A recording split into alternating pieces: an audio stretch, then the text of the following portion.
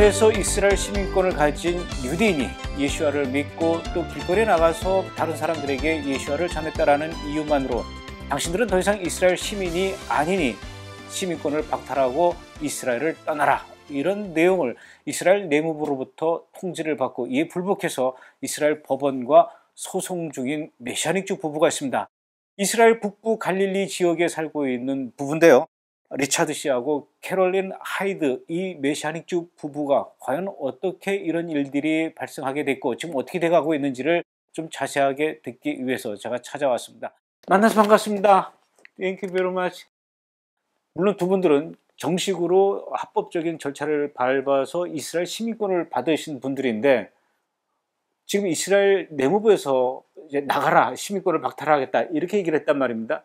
두 분들이 길거리에서 예수와를 전도하는 그런 사역을 했다라는 이유 때문에 그랬다라고 하는데 좀 배경을 좀 자세하게 좀 설명을 해주시죠.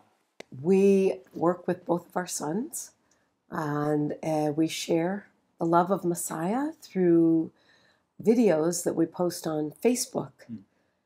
And um, I think the thing that really irritates the government the most is that we found out through statistics on Facebook that the number one group that's watching our videos is between the ages of 13 and 17. And um, everyone knows there are two laws in Israel about not share it. It's actually where it's illegal to share your faith in Israel. Um, you can't share with someone under the age of 18 unless you're under 18.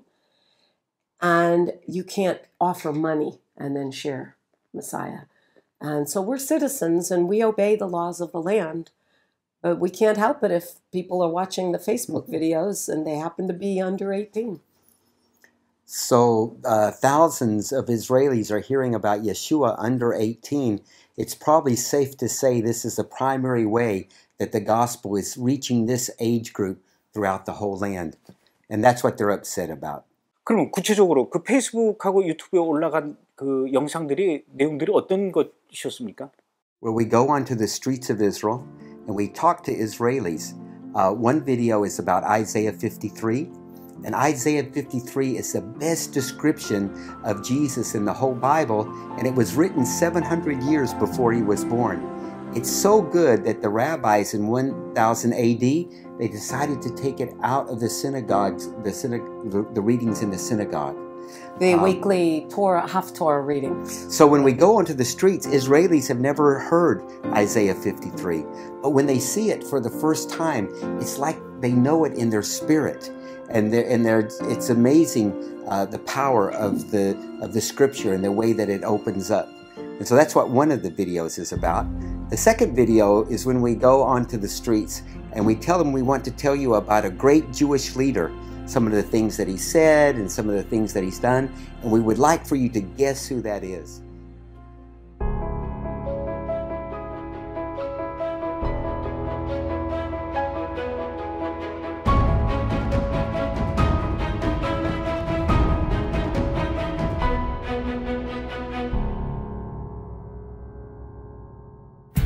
יש מנהיג יהודי מפורסם שהייתה לו השפעה ממש גדולה, שאנחנו כולנו שמענו עליו, אבל רוב העם שלנו היום לא יודע באמת מי הוא היה, מה הוא אמר, מה הוא עשה.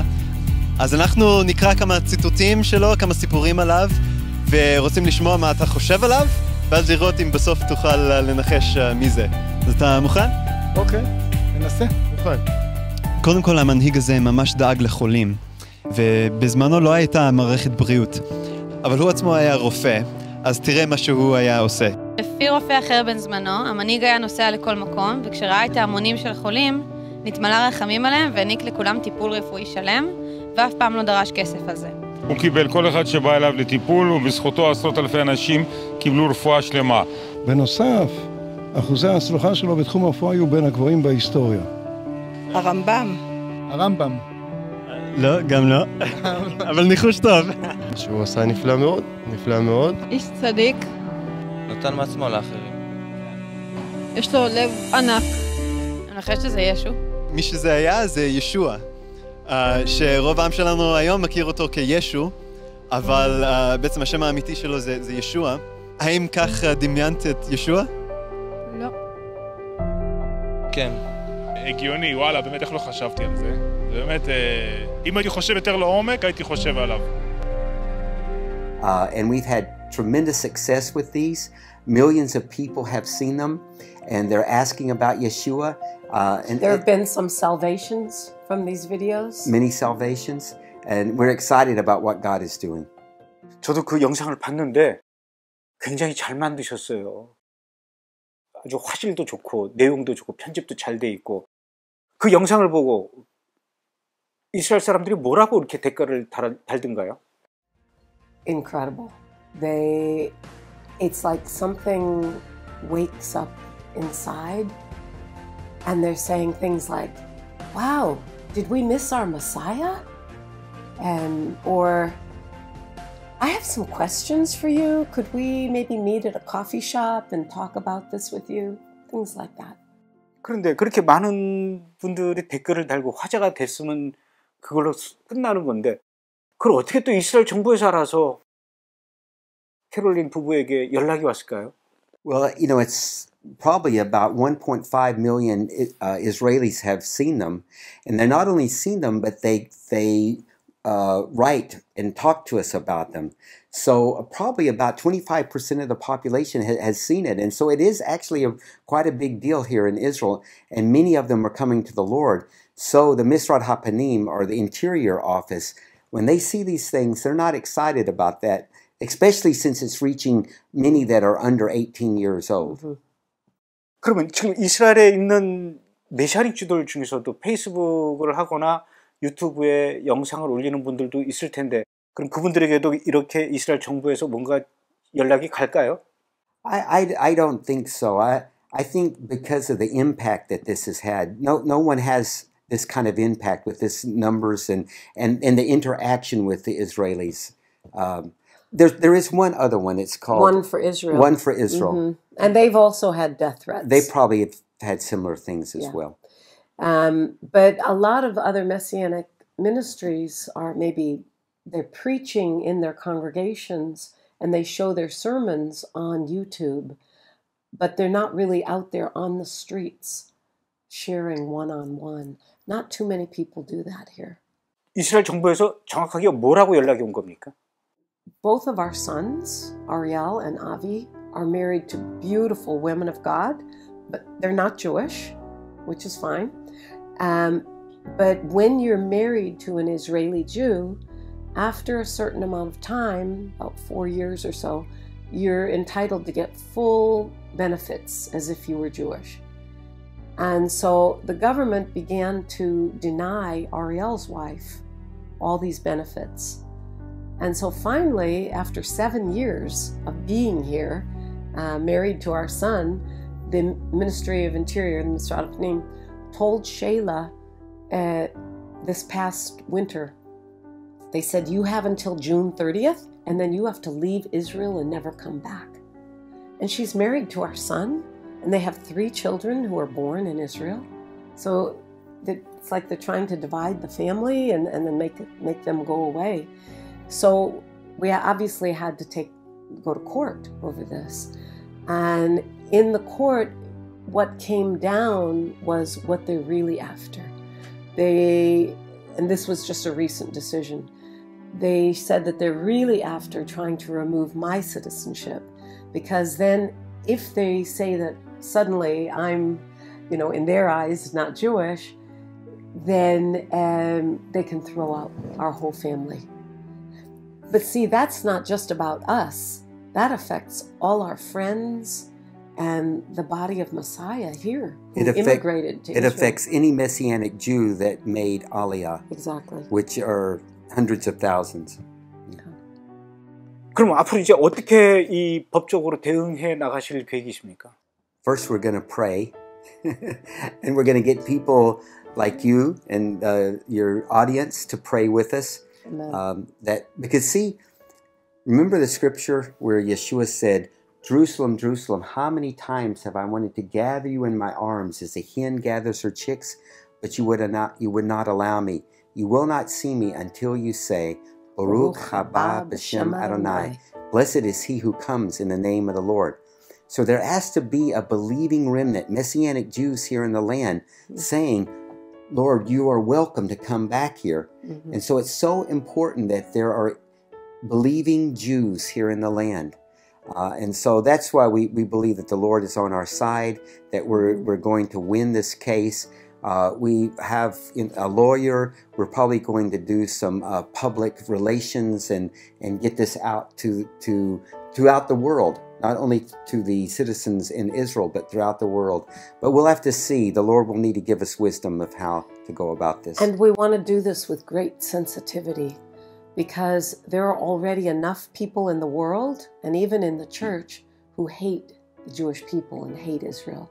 And we're not, we don't want to get this out there so people will hate Orthodox Jews. We're not asking that at all. We're asking, in fact, we don't want anyone to mock them or hate them. We're asking for, we're asking God to save them and their families. And, and because once they know Messiah, they won't do things like this. 제가 생각하기에는 이스라엘의 베냐민 네타냐후 총리 같은 분들은 워낙 할 일들이 많아서 바빠서 이렇게 이스라엘 안에서 유튜브나 페이스북으로 혹시 전도하는 사람이 있을까 이런 거를 찾아내려고 감시하고 이러지는 않을 것 같고요. 이스라엘의 일부 정통 유대인들이 이 정치권이나 정부에다가 이렇게 제보를 하고 그러는 게 아닐까요? Yes. yes. Well, there's one in particular um, called Yad Lachim. 야들라킴. We're on their list. 야들라킴이라고 하면은 이스라엘에서 예수와를 믿는 메시아닉 주들을 찾아서 이들을 내쫓고 이런 거 활동하고 있는 건 단체인데 갈릴리 지역에도 야들라킴 단체의 활동이 있나 보죠? Oh, Yes. yes. Actually, um, when you first make Aliyah, you get a passport for seven years. And after that, you go back to the Ministry of Interior and you get a passport for 10 years. Every 10 years, you renew it. So after we made Aliyah, after seven years, I went in to try to get a passport. And they said, We're not even giving you a passport. and so I had to call my lawyer, and then they, the Ministry of Interior called me back in and said, You can come in, your passport's ready. But when I got there, again, they said, No, we're not giving it to you. You have to come in for an interview. So they took me in this little room in the back and they began to ask me questions. Well, the lady was sitting at a desk across from me and, and she was looking at a paper and then asking me questions and typing them in the computer. So I like looked over to see what was on that paper that she was reading from. And sure enough, the headline was Yad Lachim. And I said to her, that is illegal. That is against the law because Yad Lachim is not a government agency. And it's against the law for a non government agency to give information about citizens to the government And yet there they were doing it right, in, a government agency doing it, something illegal right in front of me. And so it's it's sad that they do things like this, but I think when you understand Jewish history, um, I can understand it because I used to feel the same way. 그럼 앞으로도 계속해서 유튜브와 페이스북에도 그런 영상을 만들어서 올릴 예정이십니까? 아니면 요쯤에서 좀 중단하실 예정이십니까?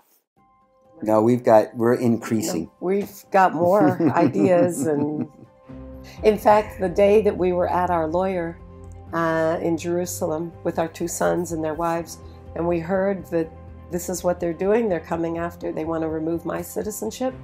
Immediately afterwards, we went to the streets and we started sharing Messiah and praying for people on the street. We're kind of crazy that way. 두 분의 신앙과 열정 아주 굉장히 부럽고 감동적인데 두 분이 지금 운영하고 계시는 이 사역단체가 하나님의 마음 이런 사역단체인데 캐롤린 씨는 유대인이시고 유대인이면서 예수야를 믿는 메시아닉주의시고 남편 되시는 리차드 씨는 미국 사람이에요. 우선 캐롤린 씨부터 한번 좀 여쭤보겠습니다. 유대인인데 어떻게 예수야를 만나게 되셨습니까? I grew up near Chicago in an Orthodox synagogue, and I loved growing up Jewish. My father was the president of our synagogue, And I have many good memories from there. It wasn't just a religion, it was our whole way of life. And it was also our, our culture. And so, um, but after university, I kind of went away from there. I found it was empty and, and I didn't know why, but it was like something was missing. And I was a hippie. I was into the new age and a little bit of drugs. I was, I was kind of messed up. And so at one point, I was living in Mexico. And while in Mexico, I was singing the blues in bars. And one day I had a vision. And in this vision, I saw Yeshua. Wow. He revealed himself to me. Um, I was playing the piano Angels, many, many angels were singing with me. And I remember looking up, and it was like something on my eyes fell off. And I said, Oh, it's Jesus, and He's the Lord. 그분이 예수님이라는 걸 어떻게 하셨어요? I just knew it. I just knew it. Uh, it, it was like instant revelation. And but then it scared me because I thought, well, I must be the only Jew in the world who believes. You know, who, who can I talk to? And and so I decided not to tell anyone. I came back to the United States. I was a nurse. I was working in the hospital, and for four years, I didn't tell people.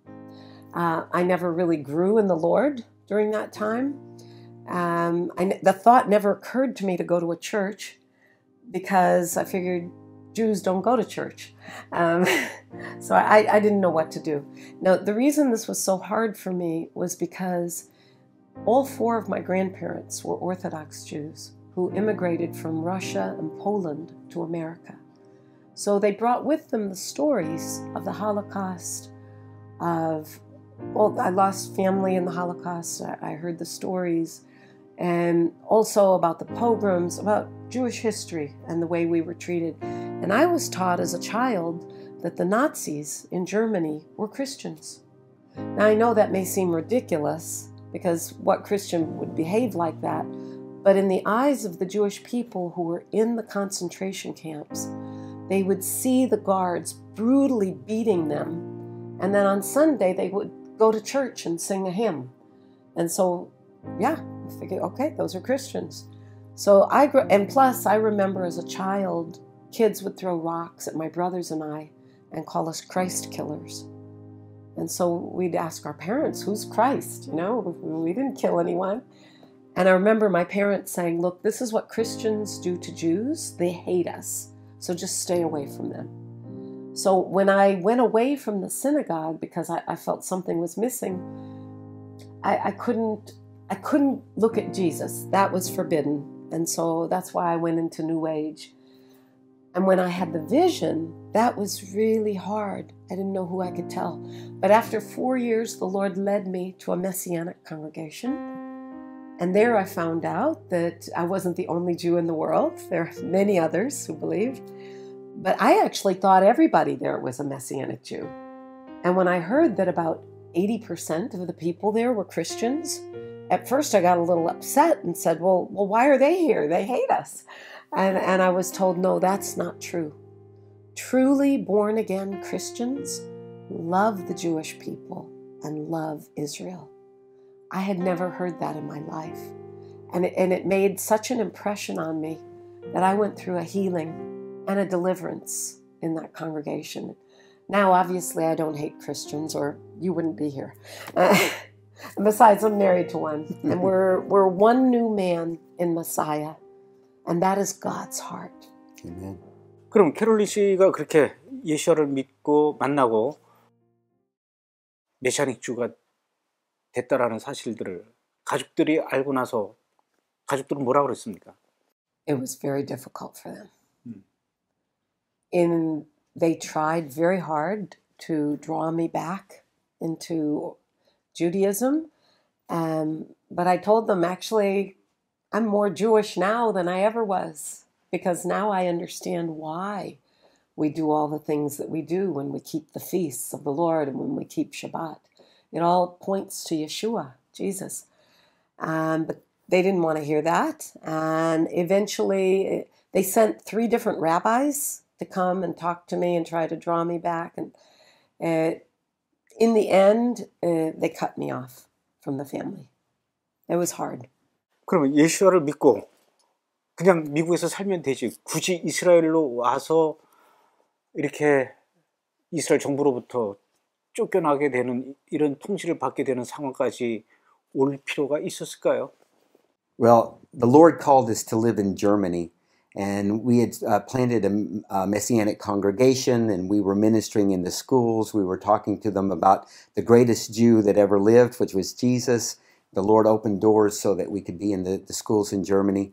But we'd been there for about uh, two to th- two years Two or years. so. We hadn't had a vacation, so we decided to go on a vacation with our kids, and we had our bikes uh, with us, and we were riding on a train, and we'd gone to the Czech Republic. And it was late on a Friday afternoon, and we couldn't find a place to stay at a hotel. So we were going from one hotel to the next, looking for a place. Uh, we couldn't find anything, so it was it was Shabbat evening. We stopped beside the road, and we had our candles. We lit our candles on the side of the road, and we blew the shofar, and we had like what we would call a Shabbat to go. but the sun was co- going down, just like it is outside now. Mhm. And as we were riding, the road was getting windy and, and it was hilly uh, and it was got narrow, very narrow. And so when a truck would come this way and one would come that way and we're on the side, it would blow us off the road and we would fall like a meter down uh, into the side of the road with rocks and sticks and our whole family. And the kids were getting hurt and we were going, oh, this is so dangerous. We can't do this. So we went into the forest and we tried to make a place where we could sleep and we could lay down.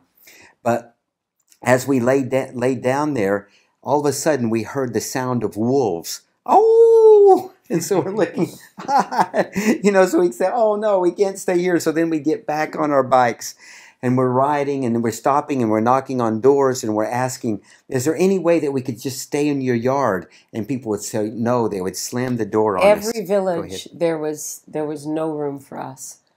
And finally, after three and a half hours of riding in the dark, and we were, it, it was terrifying, absolutely terrifying with our young children. Um, and we um, we found a hotel, had a little room, took it. Um, we got showers. I was so angry at God. And, and I said to him, How could you do this to us? You know, one of the children could have been killed. Um, and, and the Lord spoke to me, in a quiet voice, and He said, This is what it will be like when the hunters come. Go home now. You know the scripture from Jeremiah 16, 14 to 16. For I will take you out of not only the land of the north, but all the nations where I've scattered you, and I will bring you back to the land I promised your forefathers. First, I'll call for the fishermen, and they will fish you home, and then I will call for the hunters, and they will hunt you down under every crevice of the rock. So it's the, the fisherman and the hunter um, aliyah scripture. So and we- so, so I woke up Richard and I told him, okay, we have to make aliyah. We, we have to go home. so anyway, that morning I go out and I'm walking in the village, and then I realize the name of the village is called Babylon. Which you know, when it's the Jewish people, they were outside the land, and Dave and Daniel looks in the Bible and he says, "The seventy years are up; it's time to go back home." And that's exactly the way we feel. It We- was very prophetic. It was very strong, and we knew that God was saying, "Go home now." So within months, we we had moved to Israel. 리차드 씨는 유대인 아내를 만나서 이스라엘을 사랑하게 되셨습니까? 아니면은 미국인으로서 이스라엘을 사랑하게 된 특별한 계기가 있습니까? Well, I was raised in a, a Christian church, but uh, our whole family, we were not believers. But uh, on a particular weekend, there was an event where believing, believers would come from other churches, um, surrounding churches, and stay in, in the, homes of people in, of our particular church. I was 15 years old. It was a Saturday afternoon, and we were having a, a skating party. And one guy had fallen down, a young man, and another person ran over him and broke his arm. And so all the believers gathered around him and began to pray. And I'm thinking, you've got to get this guy to the hospital. But they were praying for him. I saw it. I could see it was absolutely broken. Uh, so that that's, this was in the afternoon. That evening, we had a meal together. He shows up and his arm is completely healed. Now, I'm not a believer, and I'm thinking, how did this take place? So the whole night, I'm up and I'm thinking about what, what had happened. The next day, we're singing in the choir, um, and we're singing this the famous song, How Great Thou Art. And all of a sudden, I get this revelation, revelation of who I am that I'm lost, I'm without God, that I'm a sinner, uh, and, and who Yeshua is, that He loved me and he, he died for me. But it wasn't just something that came into my mind. We were in a small church uh, with a typical roof. What happened was that there was a beam of light that came right down through the ceiling, a shaft of light that comes around me. People in the congregation are saying, Look, look, there's a there's a beam of light. It's all around Richard. What what's going on? And I, as I was looking out, I could see uh, people barely because it was so bright. It was like I was getting this amazing download from heaven. So that's how I came to the Lord. Then I ended up going to, to school. I thought I was going to be a doctor. Maybe about nine years later, I was also involved in sports. And I had a, a job as an assistant tennis pro, but I wasn't making very much money. And I was spending uh, several hours a day reading the scripture, trying to find out, God, what do you want me to do today? So I was. Uh, I wasn't making much money, like I said, and I was eating a lot of peanut butter and uh, popcorn and things like that. Because I, um, and I came across the scripture in uh, it's in Psalms uh, one twenty two six, and it says, "Pray for the peace of Jerusalem, and those that do shall prosper." I saw the prosper part and I thought, well, let's pray for Jerusalem. I, need a blessing. so I began to pray for Jerusalem. Boom, the same thing happens to me that happened like nine years before. A light comes down right around my chair, but nobody's there to witness it this time. I'm all by myself. And so I, I stand up and I, this was in West Texas. In West Texas, there are no Jewish people. So I stood up and I said, I told the Lord, I said, let's go meet some Jews. and the Lord said, No, I want you to sit back down and continue reading the scripture. But now I'm starting to see it from a whole different perspective. I'm seeing Jesus all the way through the Old Testament, all the prophecies. I'm seeing all the um, uh, the the holidays and the feasts. They're just pictures of Yeshua, and so now I'm, I'm getting all this this insight that the Lord's given me. And then what happened is the Lord allowed me to go and to minister to some Indians in New Mexico. And there I met my first Messianic Jew, Eitan Shishkoff. and so from that time, that's been my love for the, for the Jewish people began there. And uh, so here I am in Israel today. 물론 그럴 일이야 없겠지만요. 또 그러지 않도록 기도를 해야 되겠지만 그럼에도 불구하고 만약에 이스라엘 정부에서 그분들에게 시민권을 뺏고 나가라 이런 결정이 내려지게 되면 어떻게 될까요? They'll have to pick me up and physically put me on a plane. I'm not leaving voluntarily. We're not considering that possibility. yeah, yeah. We're, but but we know that whatever happens, we know that the Misrad Hapanim and the Ministry of Interior is not in control. That the God of Israel is in control. And so you know, the bottom line is we have the best news ever. Yeshua is Lord. There's no better news in the whole world than that. And so to ask us to stop sharing our faith, we can't because who would we obey, God or man? And and we want all Israel to be saved, just like the scripture says, Kol Yisrael And and this is our home. And and there's there's no other place. 앞으로 우리 브레드 TV 시청자들도 두 분이 이스라엘의 시민권을 박탈당하지 않고 계속해서 이스라엘 땅에서 많은 유대인들에게 복음을 전할 수 있도록 그리고 하나님의 마음이 정말 유대인들에게 알려질 수 있도록 그 사역이 계속 진행될 수 있도록 힘을 모아 기도하겠습니다. 두 분 건강하시고 승리하시기 바라겠습니다. 오늘 이렇게 귀한 시간 내주시고 또 인터뷰에 응해 주셔서 감사합니다. Thank you very much. Thank you.